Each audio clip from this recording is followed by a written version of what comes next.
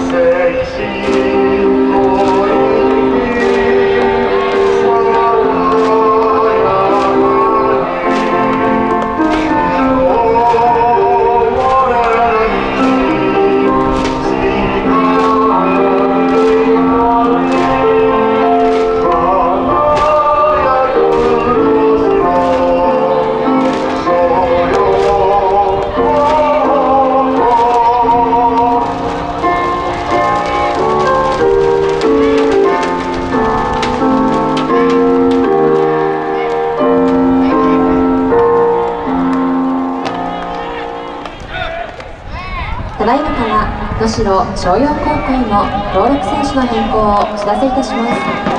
背番号11佐藤文隆君に代わりまして伊藤翔輝3年生高虫中学校背番号11佐藤文隆君に代わりまして伊藤翔輝3年生高虫中学校以上のように変更いたします。Oh, yeah.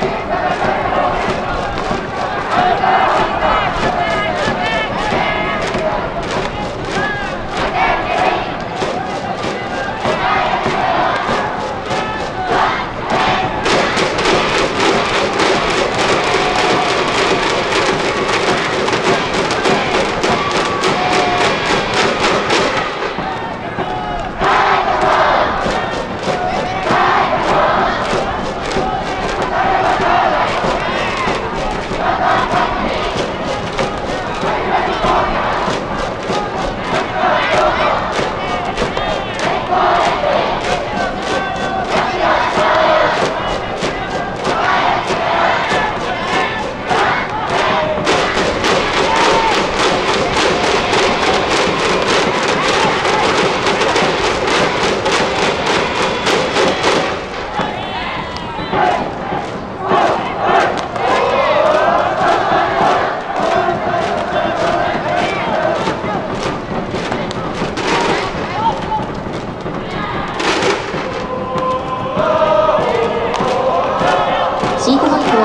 1点です。